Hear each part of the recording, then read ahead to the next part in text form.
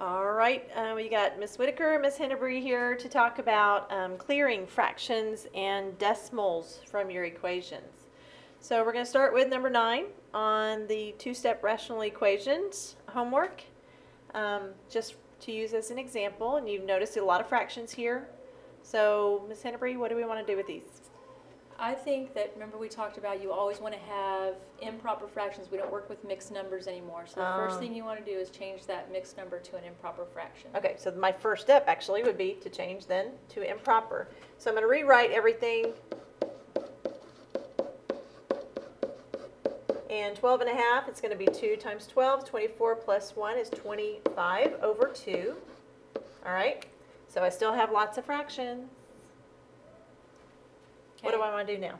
Well, we want to get rid of the fractions. Okay. So when you have a problem with fractions, you look at all of the denominators, if you have more than one fraction, and you ask yourself, what is the least common denominator for those fractions? Okay, so we've got a 4, a 4, and a 2. The, the common denominator for those, the least common denominator would be a 4, right? Yep, because they're all divisible into four. Okay. That's how you know. All right, so then what do I do once I figure that out? Then you're going to multiply each side of the equation by 4. Okay, so it might help to put that in parentheses and put a 4. What does that look like? Distribution, Looks right? like distribution, right. All right, and you said both sides, right? Both sides always have to Keep keep that it equal. equality, right. All right, so if I multiply a 4 by 1 fourth n, now I could put that over 1 if it confuses you. Um, so 4 o- um, times 1 fourth n, what do I get? Right, you do numerators by numerators, so 4 times 1 is 4, Okay, and 1 times 4 is 4. And then you carry your n, there you go. okay, Then you would do 4 times 5, okay, which is 20. 20. I'm going to add that, right? yep, and then 4 times 1. There you go. Okay. And then I go to the other side. And then there you would do 25 times 4 Okay, that's 100 over 2. over 2. Okay, All right, so I can simplify here. yeah, you still have fractions, but now Yeah. you can change them into whole numbers. Okay, so 4 divided by 4 is 1, which I don't need to put the 1. I'll just leave the n. Um, 20 divided by 4 is 5. And 100 divided by 2 is 50. And I bet they could take it from here, right? I think so, that's the easy one. All right, so I'm still trying to get rid of everything where the n is, so that's all I'm looking at. So I want to get rid of the plus 5, so the inverse operation is subtraction, both sides. That leaves me with n and 45. Does that look right? Looks right to me. Do you want to try one of those examples like you were showing me before on just taking those fractions out to the side? You want to just do that over here? All right, so we're just talking about if we just have a set of random fractions.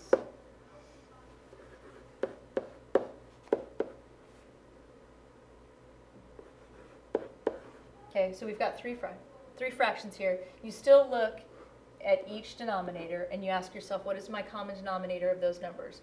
So we know that 12 is a denominator for all of those because 12 is divisible by 3, by 4, and by 6. So you would multiply all of them by 12, right? So you are just multiplying numerators by numerators, so 12 times 1 is 12, 1 times 3 is 3, then 12 times 3 is 36, 1 times 4 is 4, and then 12 times 5 is 60, and 1 times 6 is 6. Okay, so we still have fractions, but now you can just divide. So 12 divided by 3 is 4. 36 divided by 4 is 9, and 60 divided by 6 is 10.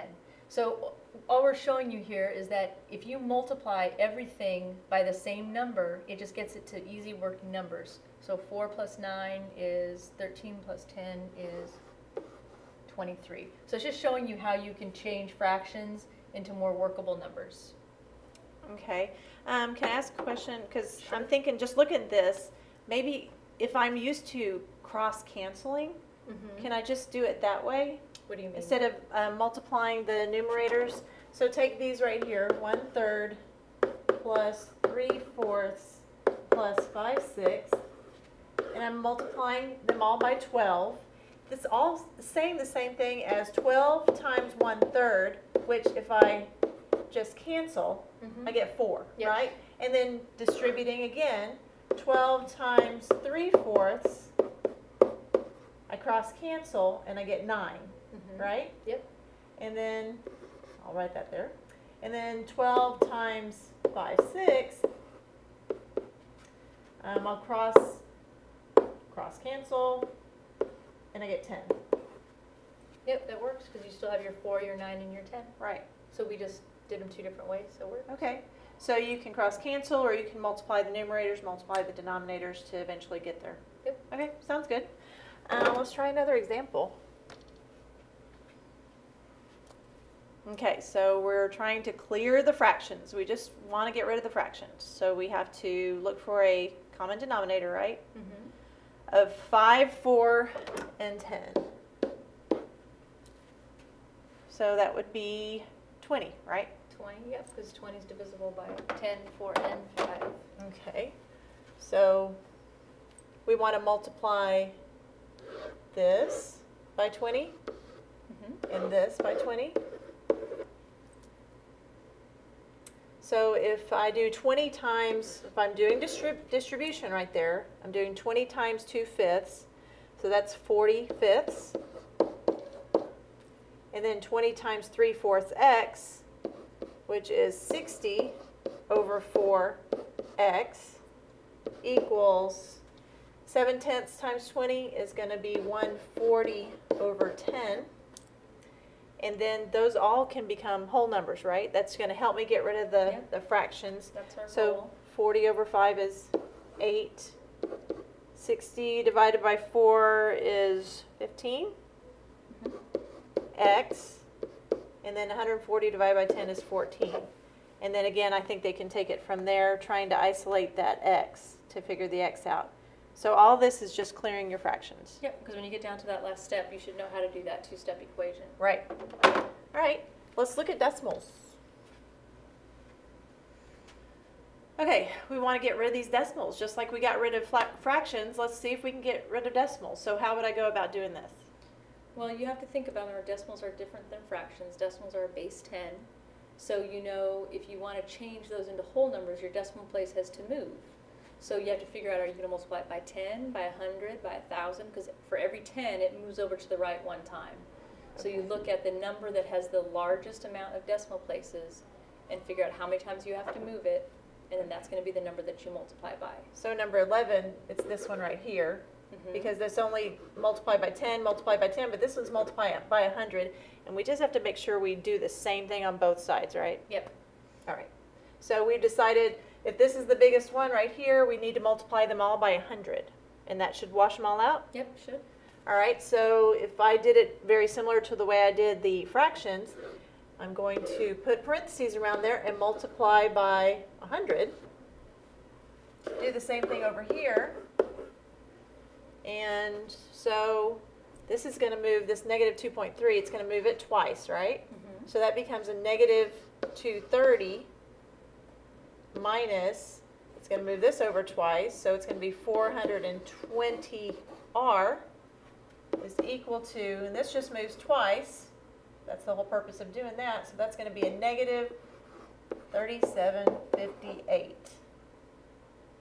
And then at that point, Right, we're just solving two-step equation. It just has bigger numbers. just bigger numbers. But probably easier, still easier to do than a bunch of decimals, right? Oh, yeah. All right, so at this point, we want to um, get rid of our negative 230. Add 230 to both sides, and then you'll divide by the negative 420 once you get that answer to solve for your R. All right, one more example? One more, yep, last one. Okay. Um, so this one's um, probably a little simpler. Mm-hmm, yep. What do you notice off the bat? The, all the decimals are the same. Okay, so what do I need to do here? Um, I would say ten, because they each have one decimal place. Okay, so that will wash them out, right? Yep. All right, so we multiply that by 10, multiply that by 10. Make sure you're doing the same thing on both sides to keep it equal. So that moves it 1 to the right, that becomes 65. This moves 1 to the right, this moves 1 to the right, so I have 24m minus 49. And then they can solve it from there. Yeah, that's an easy one too. All right, so um, just a couple of tips to help clear fractions and decimals. Anything else? No, I think that's it. Just remember, show your work. It's real important. Yeah. All right, good deal.